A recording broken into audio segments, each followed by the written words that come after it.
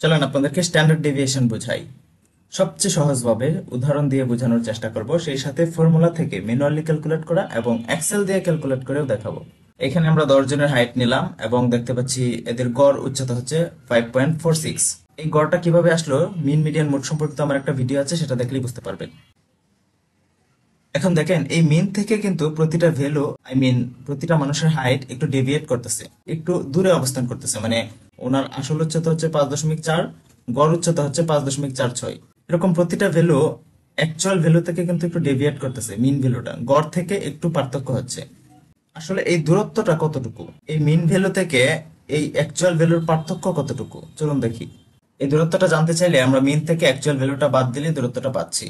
Equal mean value minus height enter প্রথম জনের actual value থেকে মিন ভ্যালুর দূরত্ব হচ্ছে জিরো পয়েন্ট ফোর সিক্স দ্বিতীয় জনের জিরো পয়েন্ট জিরো সিক্স তৃতীয় জনের জিরো পয়েন্ট ওয়ান সিক্স, এরকম প্রতিটা ভ্যালু কিন্তু একটু ডেভিয়েট করতেছে।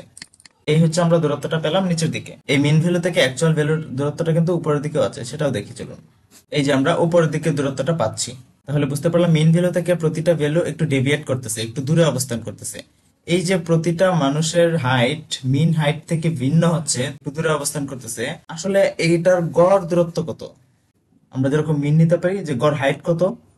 এই যে আমরা দূরত্বটা পাচ্ছি, এদের আসলে গড় দূরত্বটা কত? এটাই আসলে স্ট্যান্ডার্ড ডেভিয়েশন তো এক্সেল আমরা গড় দূরত্বটা কীভাবে দেখতে পারি? স্ট্যান্ডার্ড ডেভিয়েশনটা জাস্ট এরর বার ক্লিক করে স্ট্যান্ডার্ড ডেভিয়েশন সিলেক্ট করে দিব।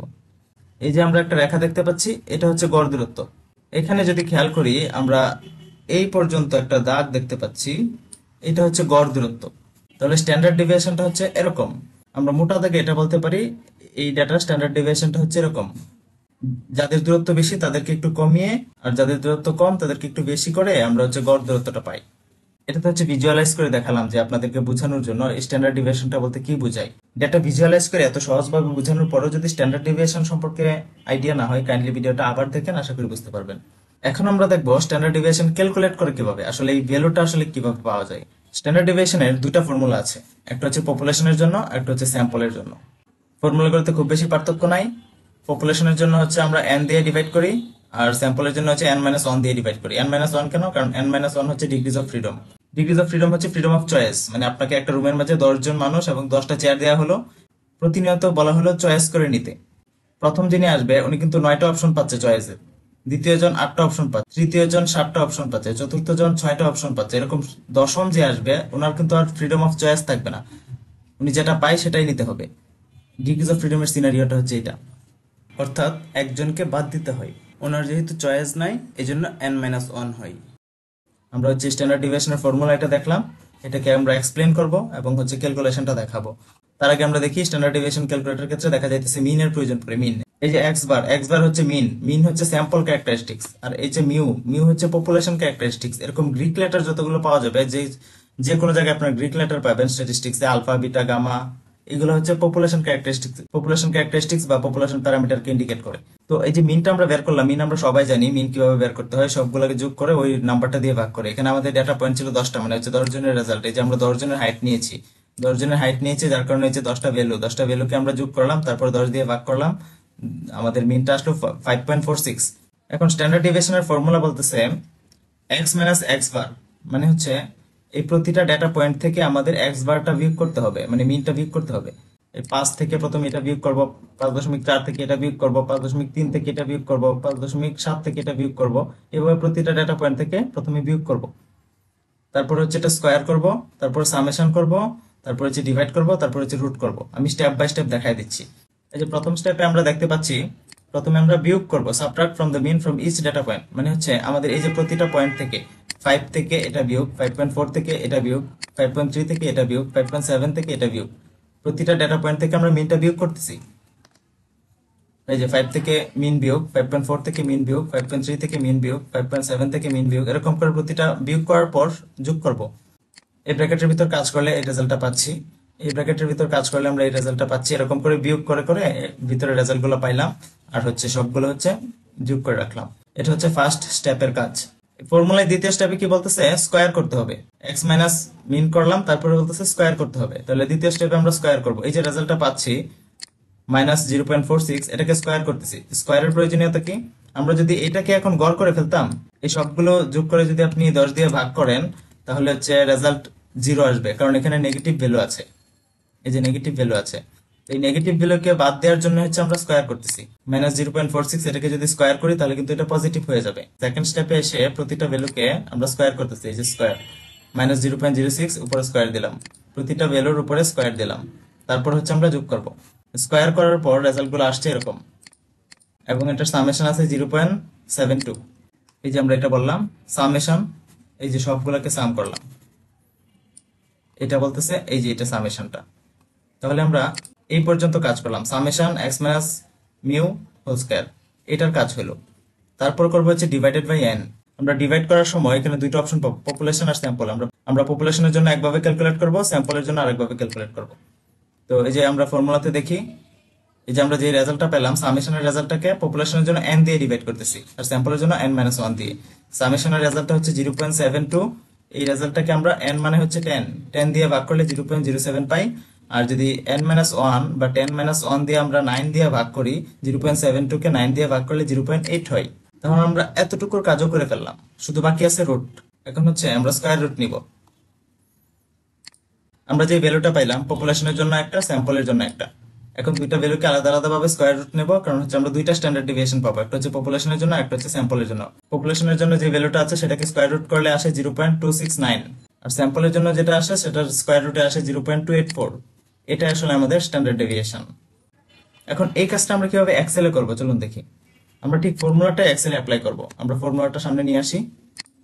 আমরা স্ট্যান্ডার্ড ডেভিয়েশন ক্যালকুলেট করব। তাহলে প্রথমে হচ্ছে এক্স মাইনাস মিন আমরা এই ফর্মুলা দেখে স্ট্যান্ডার্ড ডেভিয়েশন ক্যালকুলেট করব। সেক্ষেত্রে প্রথমে হচ্ছে এক্স মাইনাস মিন মানে হচ্ছে এই এক্স হচ্ছে আমার ডেটা পয়েন্ট ফাইভ থেকে হচ্ছে মিনটা বিয়োগ করতে হবে। তাহলে ইকুয়াল আমরা ফর্মুলাটা লিখি ইকুয়াল এই যে ফাইভ তারপর হচ্ছে মাইনাস এই যে মিন এন্টার দিলাম। রেজাল্ট আসছে minus zero point four six বাকিগুলোর result কেমন আসে দেখি? যে বাকিগুলোর রেজাল্ট আমরা পেয়ে গেলাম। এটা হচ্ছে এক্স মাইনাস মিনের কাজ করলাম। তারপর কি করতে হবে? আমাদের স্কোয়ার করতে হবে। তারপরে এই ভ্যালুটাকে আমরা স্কোয়ার করব। স্কোয়ার কীভাবে করে? ইকুয়াল এই ভ্যালু গুণ হচ্ছে আবার এই ভ্যালু এন্টার দিলাম। তাহলে হচ্ছে আমরা স্কোয়ার ভ্যালুটা পেলাম। জিরো পয়েন্ট ফোর সিক্স এর স্কোয়ার ভ্যালু হচ্ছে এটা। আমরা এক্স মাইনাস মিনও করলাম স্কোয়ারও করলাম।